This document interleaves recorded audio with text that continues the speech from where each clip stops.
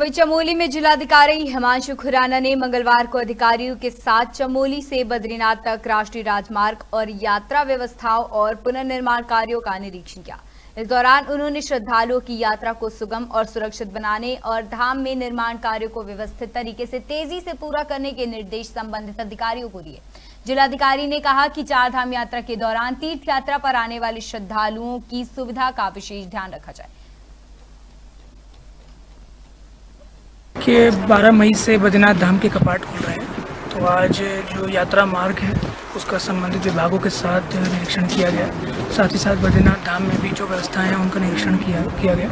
सभी विभागों को निर्देश दिए गए हैं कि तैयारियाँ हमने पूरी रखें मौके पर भी सत्यापन किया गया है। तकरीबन सारी हमारी तैयारियाँ पूरी हो गई हैं। और जो भी बचे कुचे काम हैं, उनको अगले एक दो दिन में कंप्लीट करने के निर्देश दिए ताकि जो भी हमारे यात्री इस बार बद्रीनाथ धाम में आ रहे हैं, उनको किसी भी असुविधा का सामना न करना पड़े।